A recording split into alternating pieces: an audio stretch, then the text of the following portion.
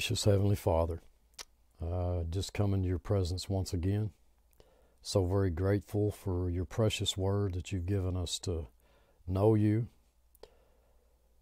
that we could feast upon it together in this format. I just ask that you would filter out anything that is contrary to the truth, but just seal to our hearts only that which is truth. For it's in Christ's name I pray. Amen. Hi, this is Steve at blessedhopeforever.com. We're continuing on in uh, part 5 of our study in Titus, chapter 1, verse 16, the last verse of the first chapter. And we'll go on across into the, the second chapter. Uh, hopefully, I can make it to verse 7. So the Holy Spirit, this what we've seen is the Holy Spirit uh, through Paul to Titus concerning those who are, are at Crete, the Cretians, and there were legalists there, Judaizers, uh, law keepers whose mouths needed to be stopped. And we are presented with the all important reality of sound doctrine, that is, healthy truth, healthy teaching. But there are those who profess to know Him. They constantly profess that they know Christ, and they constantly, by their works, deny Him. Uh, they're reprobate as as it concerns the faith. And I want you to, to take I want to take note here. I want you all to take serious note of the fact that there were no chapter divisions in the original text. So as we traverse uh, uh, from verse 16 of the first chapter over into sec- the second chapter, I want you to keep that in mind. So we're going to connect the last verse of Titus chapter 1 with the first verse of chapter 2 and which I believe contrasts reprobate works with sound doctrine. Looking back at verse 1 and uh, verse 16 of chapter 1, they profess that they know God, but in works they deny Him, being abominable and disobedient and unto every good work reprobate. But speak thou the things which become sound doctrine sound doctrine. If their works don't pass the test, then what is the contrary work? Well, it is speak thou the things which become sound doctrine. So, what stands in between us and good works? And uh, let me pause here for a moment and just point out something. I think that as we go through this uh, if not as we go through it, at least by the time we get to the end of it, we need to ask ourselves a couple of, of important questions. Questions that I believe are, are really relevant to our present study. Because we, we know, and we've all met individuals who seem to meet the description, match the description that we're about to look at for older men, older women, younger women, and younger men. And we know that we're not to judge outwardly. But the question that I would present to you for your consideration is, is one that has to do with motive. Why are we doing what we are doing? Why are any of us doing what we are doing? And what was the basis upon which we came to do it? It to try to put it as simply as I can, there's a huge difference in, in, in a, a person that is trying to obey God, love God, trust God, uh, do what's right. Huge difference in in one who's doing that for, let's say, his own personal motives, his own personal reasons, Perhaps he, he feels like that if he does these things, God will do something. Or he's trying to earn merit and favor toward God. They're not the natural result of God's inworking, God's working in that life. On, on the contrary, they're, they're absolutely works of the flesh. They, they didn't come through the, the Holy Spirit, they didn't come through God's Word, they didn't come through healthy doctrine, sound doctrine. They didn't come about as a result of faith. What they did was they came about as a result of, of something else entirely. And I believe that uh, that's an important distinction that we need to take note of here. But speak thou the things which become sound doctrine. We see a, we see a stark contrast in in verse one of chapter two uh, from what we saw in verse sixteen, the last verse of chapter one. Wherefore by their fruits ye shall know them. We, we know from Matthew 7:20, a tree is known by its fruit. A good tree bears good fruit. I believe that's that's describing the new man. A bad tree bears bad fruit. I believe that describes the old man. The word bad there in that in that text in Matthew chapter 7, verse 17, the word for bad there is poneros. It's an adjective meaning evil, bad, wicked, malicious. That is the old man from which nothing good comes. We know that the flesh profits nothing. God, folks, He works in the new man, not in the old. It is, it is faith resulting from sound doctrine that leads to works contrary to the reprobate works that we saw in verse 16 of chapter 1. Belief in sound doctrine stands in between his finished work and our works. So it is, it is his work. And then sound doctrine stands in between our works, which in effect, really, if we are to be honest with with Scripture, we have to say that even our works are a continuation of His works, where that sound doctrine stands in between.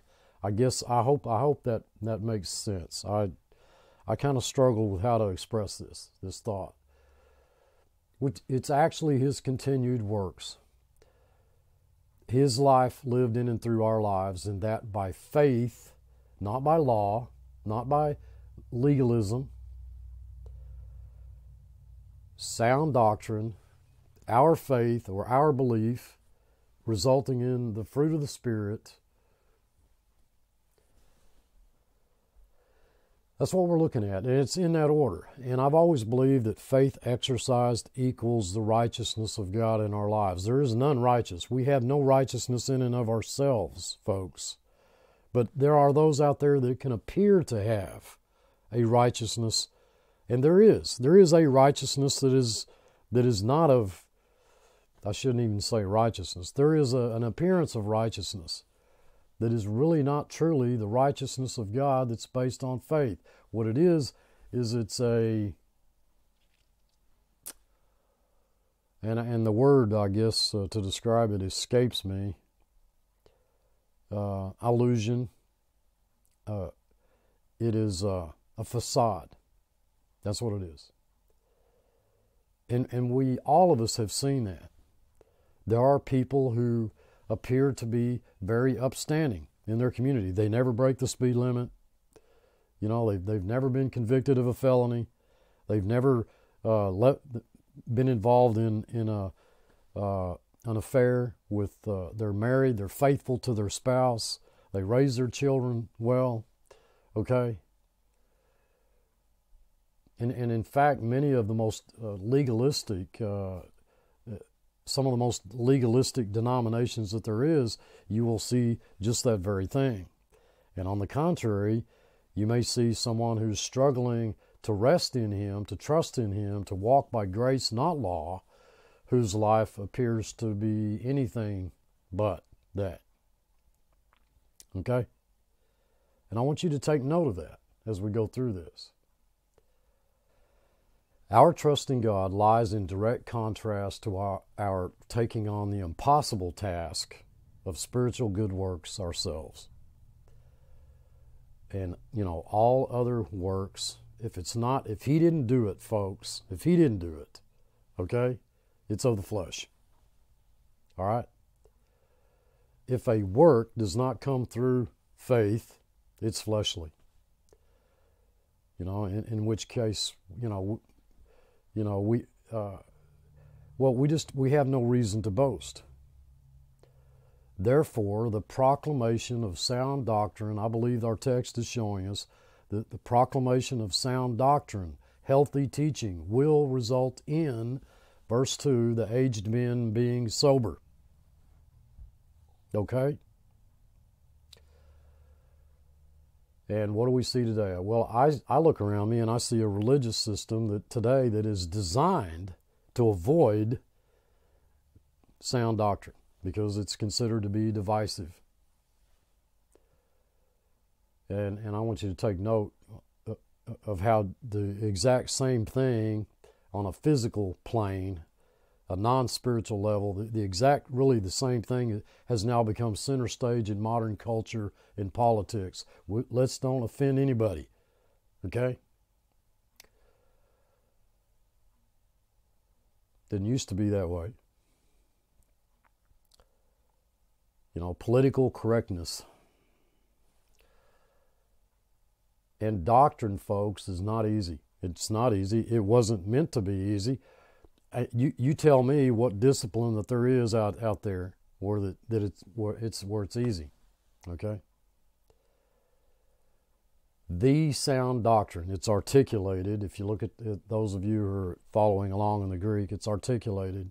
This is the definite article of specific identity and this is what titus is being commanded to give diligence to This is what he's commanded to give heed to. The sound doctrine. You know, we can go back to Acts chapter 17. We can see where Paul and Silas, they preached at Berea, and the inhabitants there, they received the word with all readiness of mind, and they searched the scriptures daily whether these things uh, be true. And many of them, as a result, many of them believed. What is sound doctrine?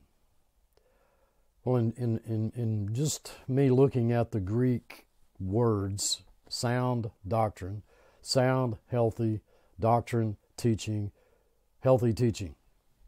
Okay? It's a it's kind of a funny sounding word. Uh, hugiaino is the is the Greek word. Healthy doctrine, healthy teaching. Here's what it's not. Sound doctrine is not somebody's personal convictions as to what truth is. Sound doctrine is not just, well, I think or I feel. And I, folks, I'm, I'm constantly seeing that, hearing that, reading that. Well, I think this is this is what I think. This is what I feel. And sometimes you'll hear on on occasion, this is what I believe but it doesn't seem to be as, as strong as I think and I feel. There's such a, a, an overdue emphasis, a heavy emphasis on what I think and what I what I feel today, rather than what I believe and what is sound doctrine. Sound doctrine is the Word of God. Sound doctrine is the well, that's the location of sound doctrine. That's that's where it resides is the Word of God. So we could say that the Word of God is healthy teaching. Well, that, that didn't sound so, so strange. If, if I walked up to another brother or, sister in the Lord and I said, Hey, guess what? Did you know that the Word of God is healthy teaching? Uh, they'd go, "Hey, amen." You know, they'd probably amen that all day long. But if I if I said we needed to give heed to sound doctrine, they'd go, "Oh no, no, no, no! Wait a minute, wait a minute, wait a minute." That's divisive.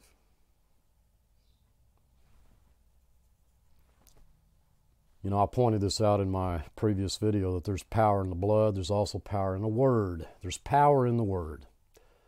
I mean, does your Bible not tell you that His Word will accomplish what God pleases? Mine does. And why would you think that His Word sh- should accomplish more than what He intended? Okay? And I, folks, I have seen pastors become nervous wrecks because they don't see people doing what they think people ought to be doing, or, or they don't see people living the way that they think that people ought to be living. So I have a passage of scripture that declares that if, if we are proclaiming sound doctrine, the older men are going to become sober. Grave, temperate, sound in faith, and charity, and patience. Uh, you go on down with the text, the aged women likewise, that, that they be in behavior as becometh holiness, not false accusers, not given to much wine, teachers of good things, that they may teach the younger women to be sober, to love their husbands, to love their children, to be discreet, uh, chaste, keepers at home, good, obedient to their own husbands, that the word of God be not blasphemed. And I'm going to suggest that such things as these result from the proclamation of sound doctrine. Okay? I pointed out this before. I've, I've told you how I, I do not believe that the Bible is a book of instructions on how to live the Christian life. It is primarily the revelation of the person and the work of Christ that when we're looking at all of these do's and don'ts, or how we should be and how we should not be, that we're not looking at law because we're not under law. It was never given, the law was never given to the church to begin with. But we as Christians have died to the law in order that we might bear fruit unto God. And so, what are we to do? How are we to handle all of these instructions? How are we to view them? How are we to look at them? Well, we look at them through the reality of the finished work of Christ, the righteous man who lives by faith, and the fact that it all comes and is filtered down through through healthy teaching. Healthy teaching, sound doctrine.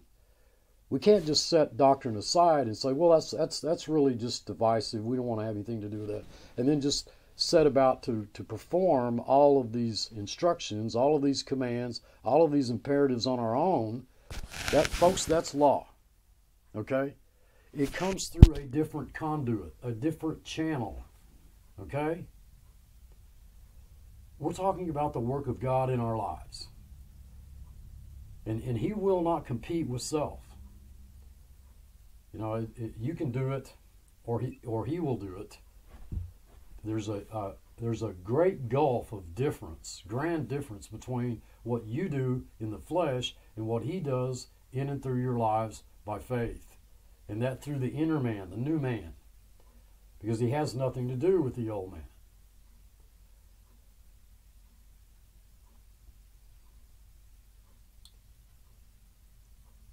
So I've got a passage of scripture that declares that if we're proclaiming healthy teaching, then then the older men are going to become sober. That, that's what I'm seeing. Grave, temperate, sound in faith and charity and patience. Okay?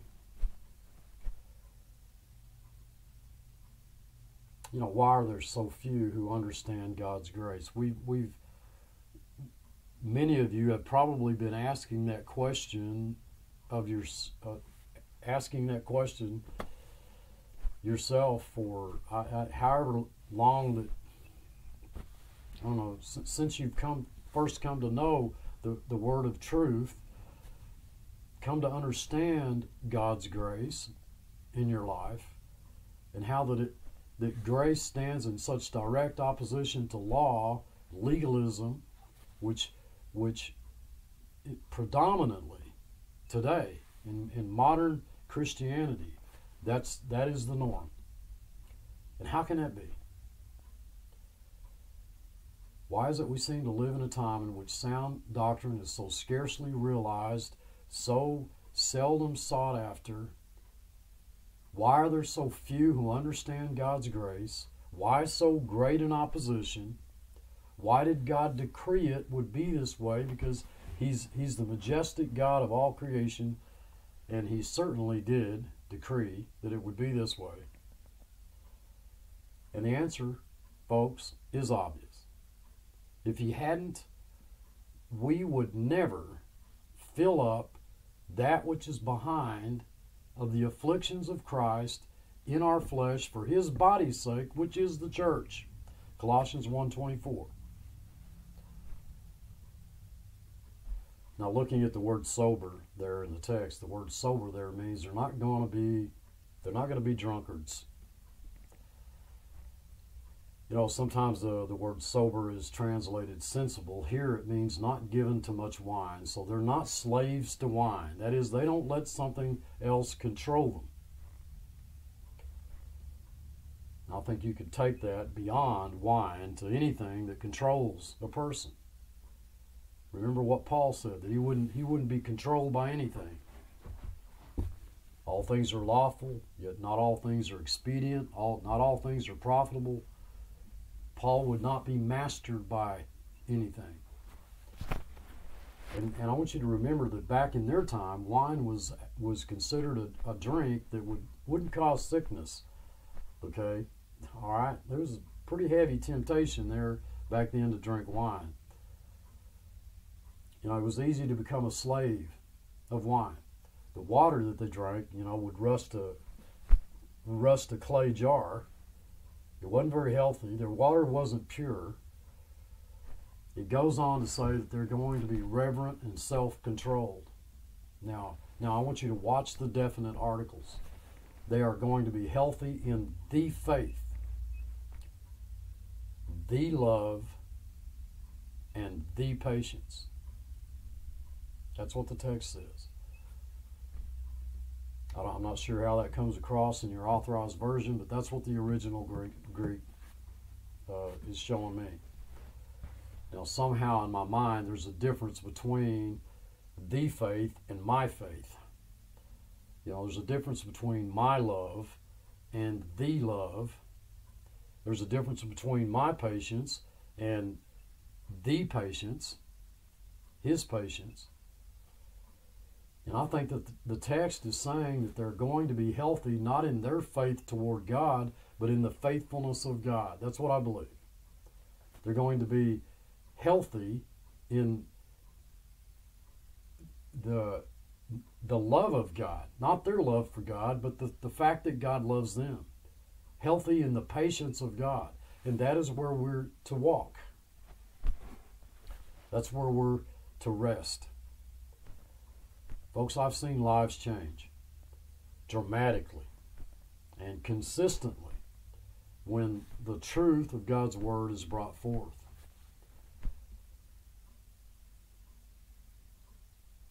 Is it really that hard to believe that Christ is asking us to recognize that He is always there? He's always there leading us, carrying us forward in life through His own strength, not our strength, but His and that what He desires most, more than anything, is that we trust in Him.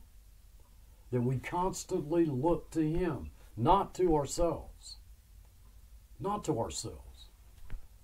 Where those who contradict sound doctrine profess to know Him, but by their works they deny Him. Are you an older man, fully persuaded that God loves you? Verse 2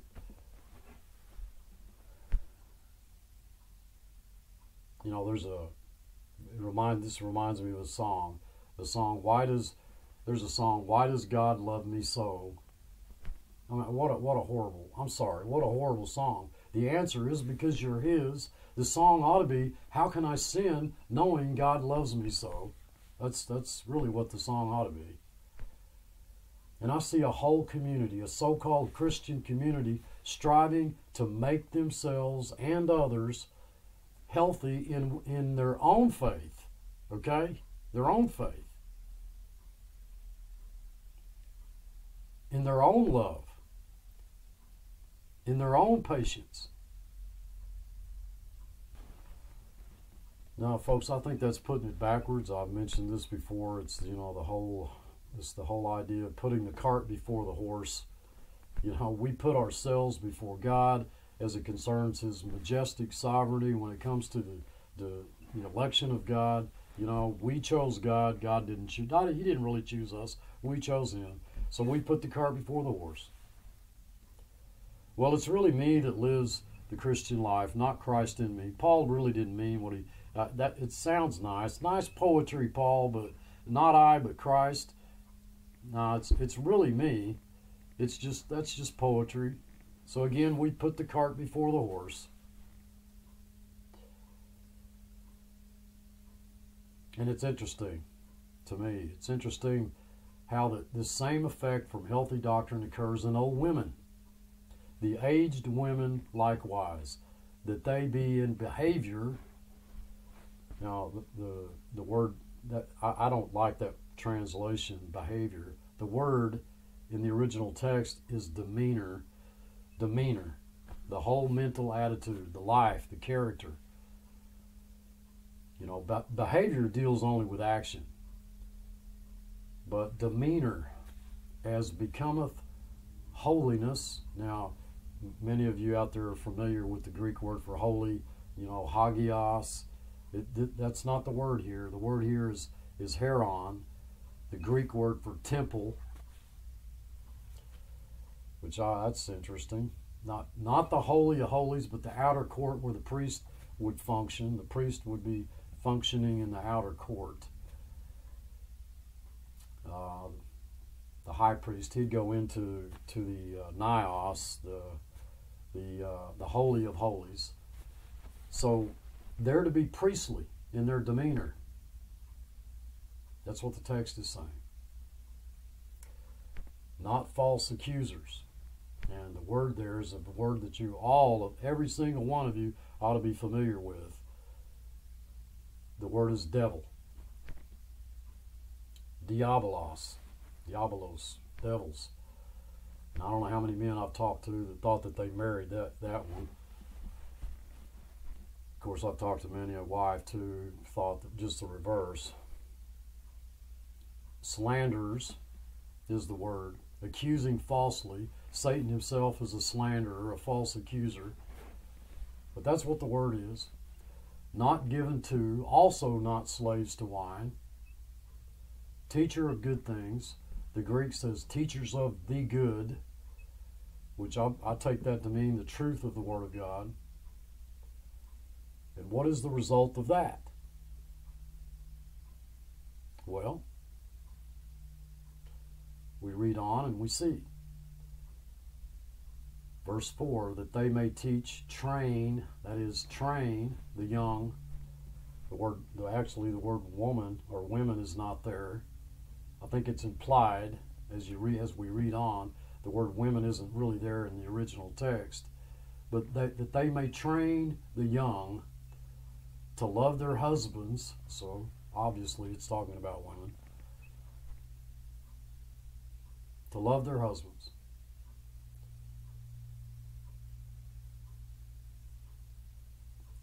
The Greek says lovers of their husbands. Now, the word is phileo. It's not agape, it's phileo. They'll like their husbands. Most, uh, most husbands are difficult to love. So they will like their husbands. And it says to be loving their children.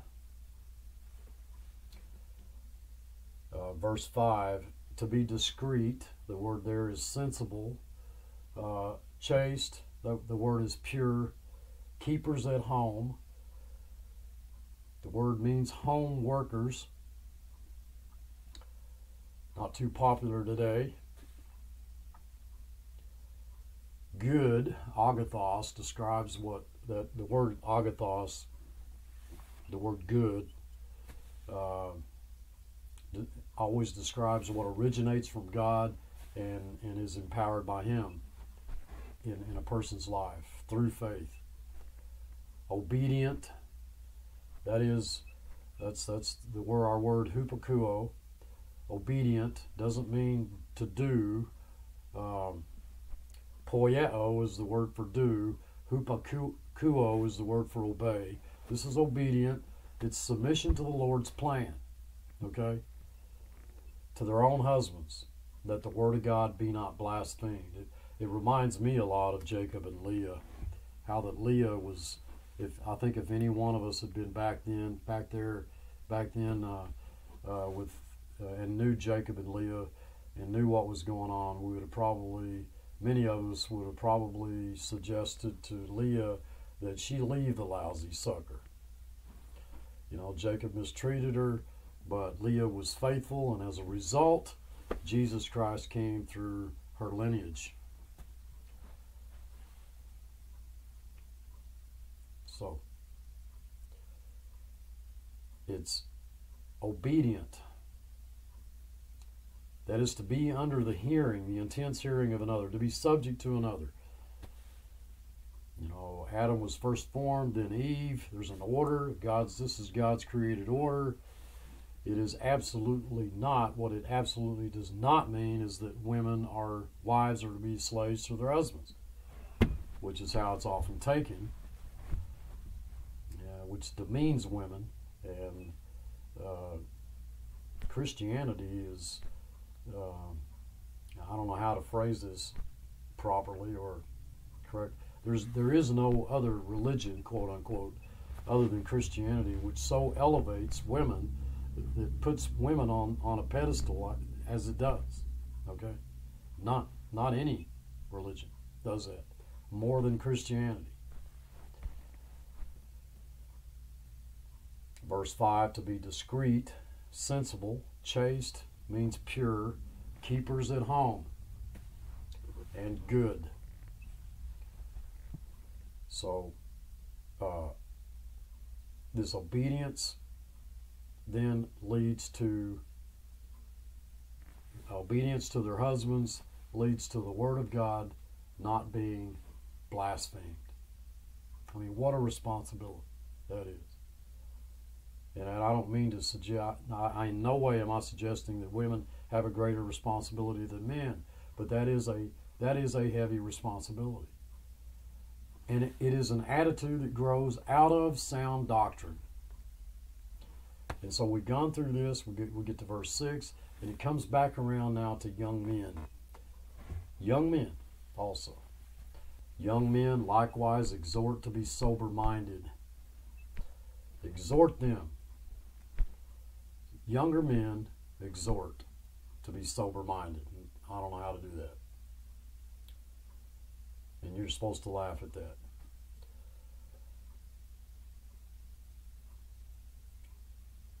Verse 7 In all things showing thyself a pattern of good works, and doctrine showing uncorruptness, gravity, sincerity. And folks, whether it's, it's, I've always thought that the best marriage counseling is the Word of God.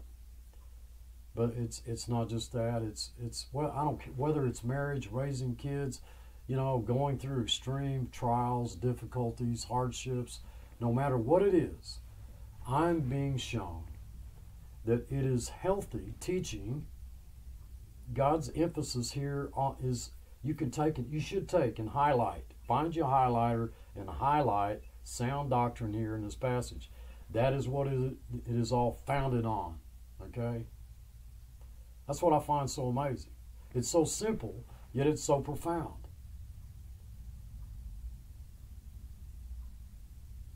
Healthy teaching leads to how a Christian ought to walk. The young man, folks, who doesn't know God can be taught to be sober minded. I understand that. I understand that the young woman who doesn't know God can be taught to love her husband and her kids. A lot, a lot of that's just natural, okay?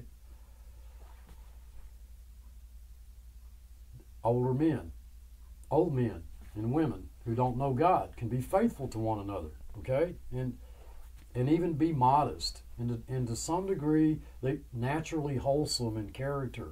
You know, it depends on the generation, you know, if they especially if they're of the greatest generation, okay? But it's as I said in the beginning we don't judge outwardly. Jo- we don't judge outwardly. God looks on the, on the inward parts, okay? And he makes that assessment. And I don't see any place here at all where Titus is given any instruction to judge the moral character of those that create apart from, okay?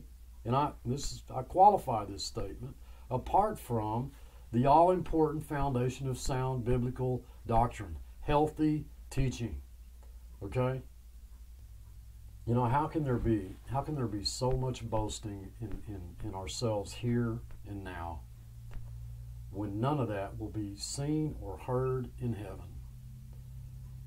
Everything that modern Christianity has built, everything it believes and preaches, collapses beneath the weight of one single truth, and that is, unto him be all the glory, now and forever. Amen. And you can only say that in relationship to sound, healthy teaching.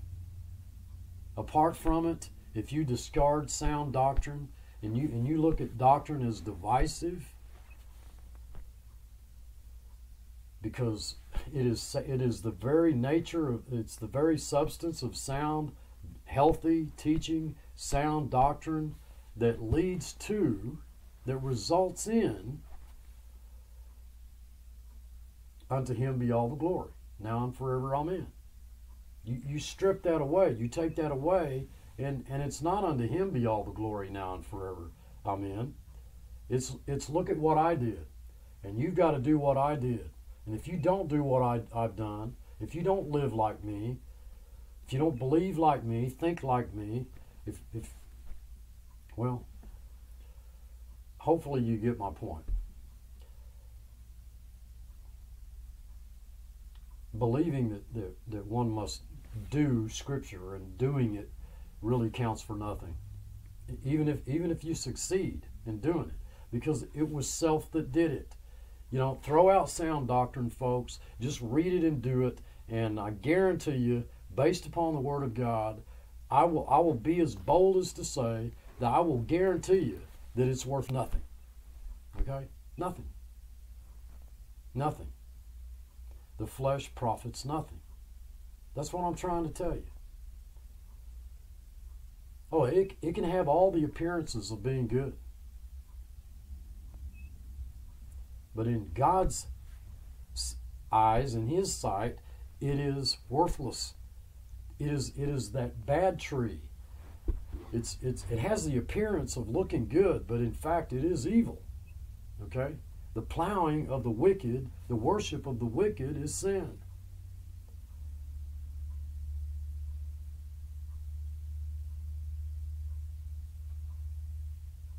Believing, believing that it, it is self that does it doesn't even have anything to do with Christianity.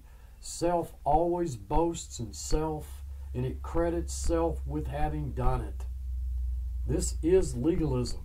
That's what defines legalism. True spirituality never, never views ourselves as having done it in the first place because we attribute all the glory unto God for having done that work in and through our lives by faith, something that we could have never ever done on our own. We acknowledge the fact that we could have never done that on our own.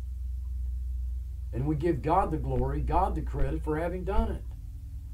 Faith, the righteous man shall live by faith, faith exercised, folks, equals the righteousness of God. We don't have any, okay? We just ain't got it. The righteous shall live by his faithfulness. His faithfulness. What appears to be law in the New Testament, do this, don't do that, because they are, in fact, commands. They're imperatives. If you're a Greek student, you know that. They're, they're in the imperative mood.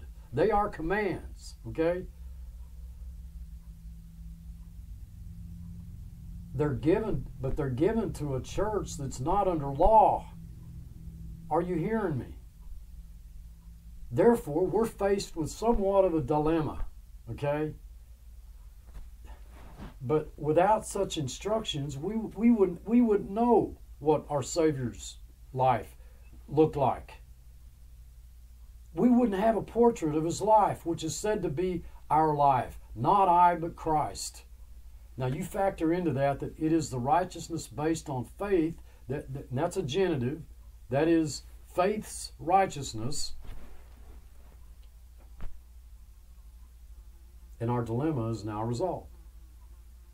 We don't have a dilemma. It truly is not I, but Christ, because we were crucified with Christ. We died to sin, self, and the law.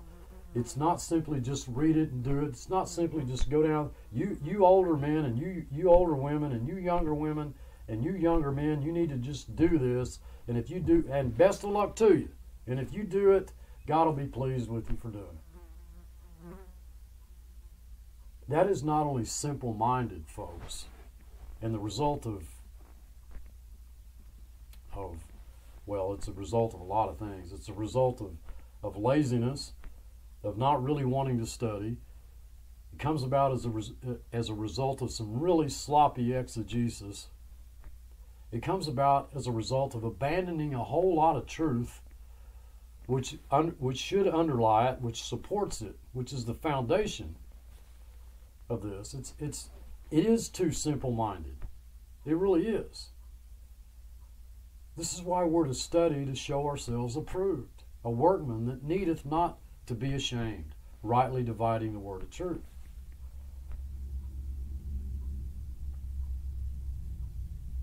So the, the Bible's not a book of instructions, as so many believe, on, on how to live the Christian life. That's I know that's what that's probably what 99% of Christianity believes. But it is not. I want to tell you that it's not. That's law. It is the revelation of the person and the work of Christ. And when you factor into that equation that it's those works that He prepared beforehand that we are to walk in, that is the finished work of Christ, now it becomes clear beyond a shadow of a doubt what we're looking at. We're looking at His life, not ours. They're not there to do, that's law. They're there to show us what our lives will be like as we subject ourselves to sound, healthy teaching, whereby the Lord takes and brings about the result of that in our lives. And we give Him all the honor, the glory, the credit uh, that He deserves, reserving nothing for ourselves.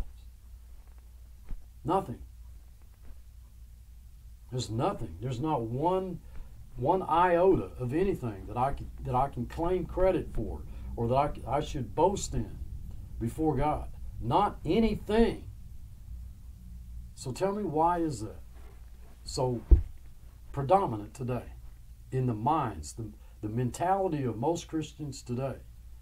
Even those who would shun any mention of the word boast, yet in their very demeanor that is exactly the type of life, the relationship with God that they espouse.